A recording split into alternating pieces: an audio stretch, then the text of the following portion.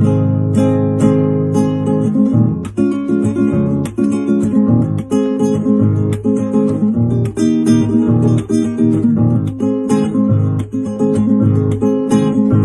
no sé cómo será si el penco llega a ganar, porque quedó demostrado que ese hombre no puede hablar. Me imagino que Su ventríloco será y que tendrá que ponerle una mano por detrás. Ay, ay, una mano por detrás. Ay, ay, una mano por detrás. Su primer discurso es la toma de posesión. Será serio ver al jefe buscando la conexión.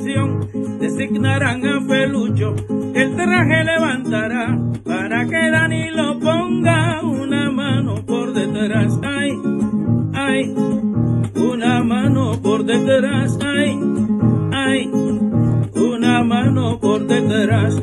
Las Naciones Unidas, un problema grande habrá. Si llegara presidente y al penco le toque hablar, en todas partes del mundo la gente se gozará cuando al títere le pongan una mano por detrás. Ay, ay, una mano por detrás. Ay, ay, una mano por detrás. Será una cosa graciosa cuando todo el mundo vea un títere presidente Serán días de sufrimiento los que el muñeco tendrá, diciendo tantos discursos con la mano por detrás. Ay, ay, con la mano por detrás. Ay, ay, con la mano por detrás. La cosa será bien fea si van al pueblo africano y que al jefe del muñeco se le cansará.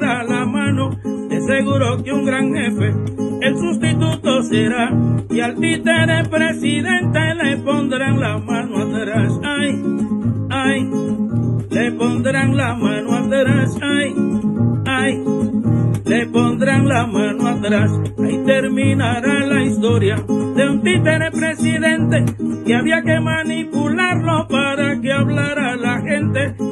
Que ver que al final quiere cambiar la constitución y si es que quedó con gusto de buscar la reelección. Ay, ay, con la mano por detrás. Ay, ay, con la mano por detrás. Ay,